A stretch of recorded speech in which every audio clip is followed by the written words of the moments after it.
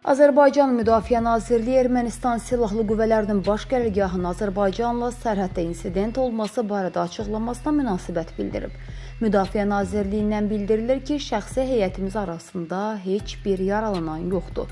Ermənistan tərəfinin dövlət sərhədində baş vermiş insidentlə bağlı yaydığı məlumata cavab olaraq bildirir ki, Azərbaycan ordusunun bölmələri tərəfindən atəş açılmayıb.